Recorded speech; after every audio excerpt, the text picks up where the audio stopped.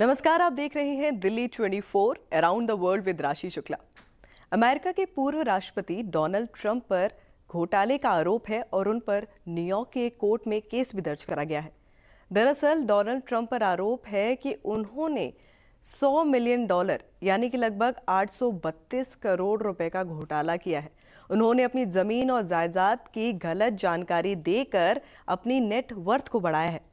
New York के attorney general Letitia James ने Trump पर केस फ़ाइल करा है और उन्होंने ये मांग करी है कि ट्रंप के ऊपर 250 मिलियन डॉलर, यानी कि लगभग 2000 करोड़ रुपए का जुर्माना लगाना चाहिए।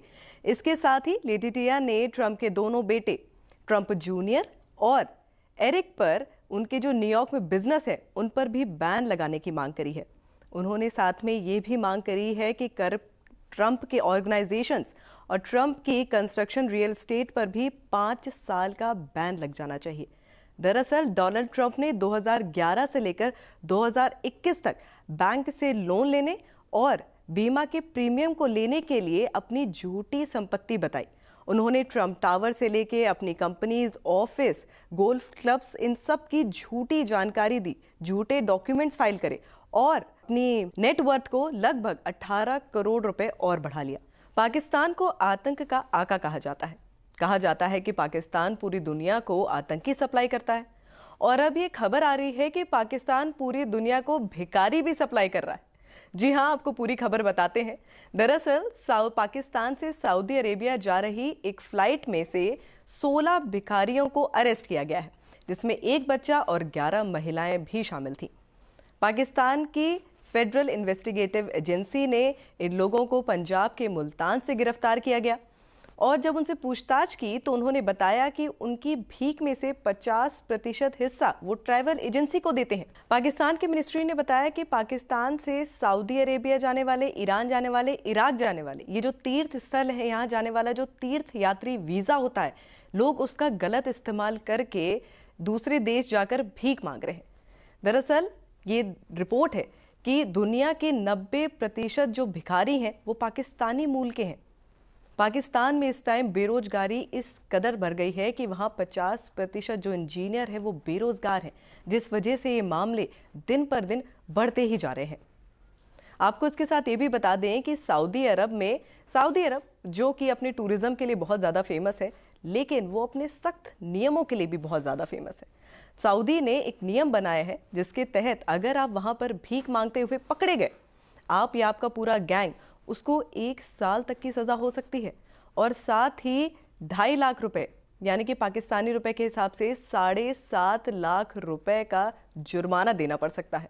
तो अगर आप सऊदी में भीख मांगने के लिए तैयारी कर रहे हैं तो आप जुर्माना देने के लिए भी तैयार हो जाए। आज की बदलती टेक्नोलॉजी के दौर में आपने अलग अलग तरीके की हैकिंग की खबरों के बारे में सुना होगा। लेकिन विमान की सिग्नल हैकिंग के बारे में जानकर आप हैरान रह जाएँगे।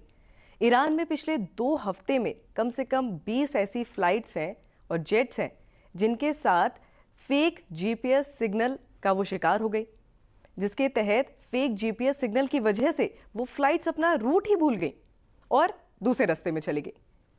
ये सिग्नल ज़मीन से भेजे गए थे और ये सिग्नल इतने ज़्यादा स्ट्रॉन्ग थे कि फ़्लाइट का नेविगेशन सिस्टम ही उन्होंने पूरा उथल पुथल कर दिया। ये सिग्नल इतने स्ट्रॉन्ग होते हैं कि जो सैटेलाइट से सिग्नल आ रहे होते हैं, उनके सिग्नल्स को भी ये ओवर कर देता है।